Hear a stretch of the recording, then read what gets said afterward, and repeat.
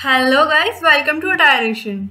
Today we are going to learn how we can create the flounce and ruffles in our project. So without delay, let's get further.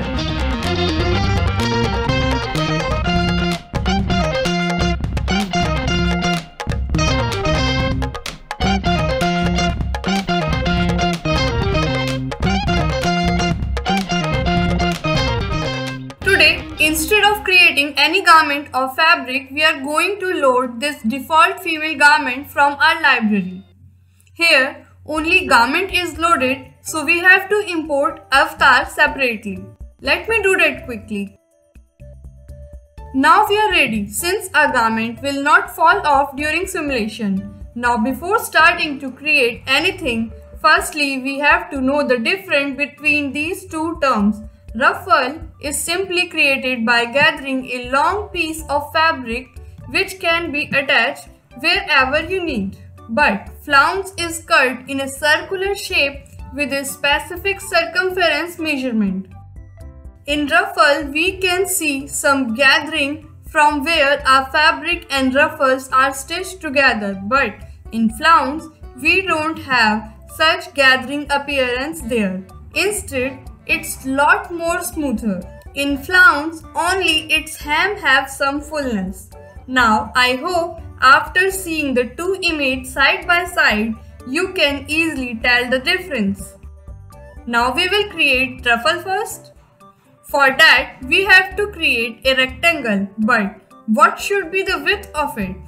To decide that, firstly, we have to measure the area where we are going to attach that. I want my ruffle little above the chest area but in V shape. For that, I have to create an internal line. Press enter to end the shape here. If you want to learn to use this tool or any other tool, you can check out the description box. Now let's measure this. So this is 7.386. We need a rectangle with a width more than this. Triple of this is around 22 inches. So I will make it 23 inches straight. Now we don't want much of the height so I will make it 1.5 inch. Our rectangle is ready but keep in mind it's only our half portion. Let's stitch this by the help of segment sewing tool. After simulation the shape of ruffle is not pleasing so I will try to strengthen this. Now we can create one more copy of it for the opposite side. Use the same sewing tool.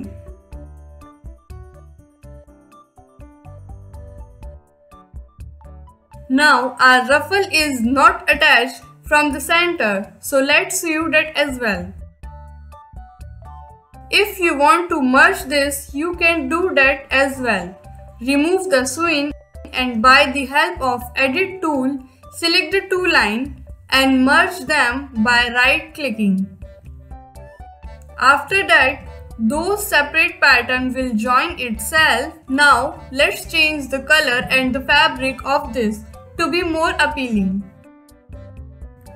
Here is the final look. Now it's time to create flounce here. For that we have to create one circle and before that we need its circumference. Here the value is 8.094 inch.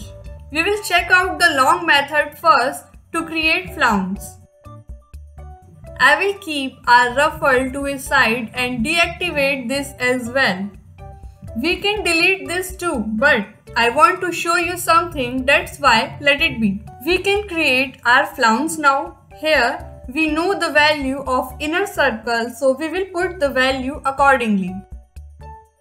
Now we will extend our pattern to the height we need. Use offset pattern outline and put the extension value. I am making it 2.5 inch. Now our inner circle or should I say our old circle is converted into baseline. So we have to use trace tool to cut this shape. Delete the inner part and make one internal line to cut this ring. Now by using free sewing tool you can stitch the inner circle with that internal lines. Here we have some difference in our two values but in reality a circular fabric will stretch too. So this is a minimal and ignorable value. Since it's strengthened right now so you can check the fact we mentioned earlier that in flounce this connected portion is really smooth but it's not the same with ruffle. It has some gathering there. Now we can make its copy for other side and join this portion. These are really easy to create but creating flounce is especially super easy. Now we will learn to create flounce from ruffle. For this we will delete our old flounce. Now we will reduce the width of its rectangle and make it same as our line length. So we will set it to 8.094 inch. Instead of doing this, we can also create a new rectangle, but let it be. Now by offset internal line, we will add 4 lines here at an interval of 2 inches.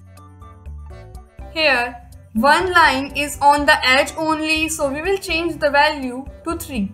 After this, we will use slash and spread tool over it. It's another way to add fullness in our garment.